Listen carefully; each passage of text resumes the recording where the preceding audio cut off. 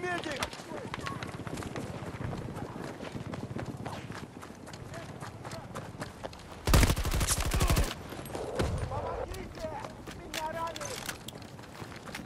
U.S. forces have captured Delta Sector.